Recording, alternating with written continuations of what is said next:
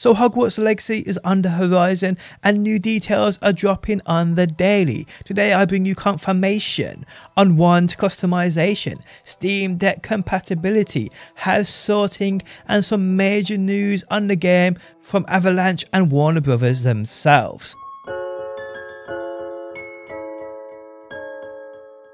First up guys, I can confirm Hogwarts Legacy will be compatible with the Steam Deck. A question put forth to Warner Brothers Game Support over on Twitter asked exactly this question.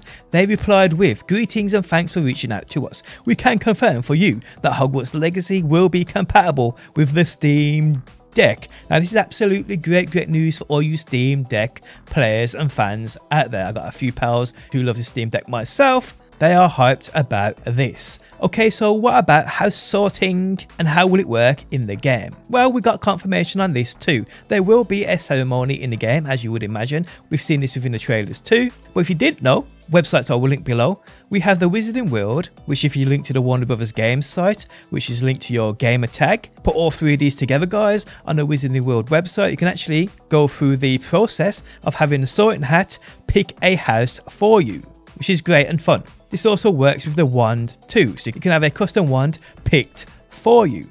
And again guys, if these things are linked with your gamer tag, these will transfer into the game when you play and create your wizard or witch. So you will have your house picked for you and you also have that custom wand, which is great, great news.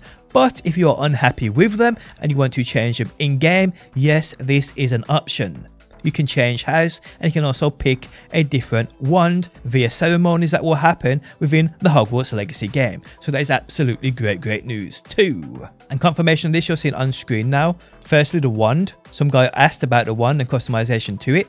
They replied with, Hi Mike, thanks for reaching out about the wand customization. Players will be able to change their choice of wand during the wand ceremony later in game if you don't like your choice of the wand from the Harry Potter fan club quiz which is absolutely awesome. Also on screen now, seeing this about the house sorting. This is taken from the official Portkey's website.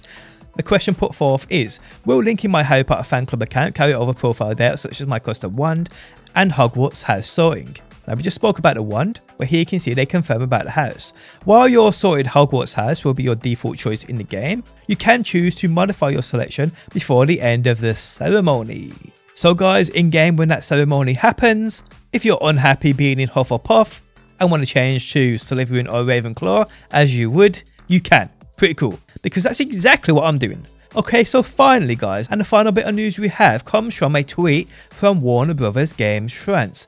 They tweeted out in French, which I can't read, luckily there is a translator there. It states, hashtag Hogwarts Legacy. The Hogwarts Legacy has some good surprises in store for you. More information coming very soon indeed. Now there's a lot of speculation on this tweet and what it could mean. It could mean a new gameplay trailer, it could mean a new gameplay reveal. I'd love a third reveal, I'm not going to lie. If that's going to happen though, I'm not sure. It's a little close to release now, with probably, what, two, three weeks to go. So yes, but when this news does drop people, I'll be sure to have you covered right here on my channel, whatever that news may be. But guys, if you did enjoy the video, leaving a like really helps out. If you like what you see and want to see more Hogwarts, be sure to subscribe and hopefully guys, I will see you on that next one.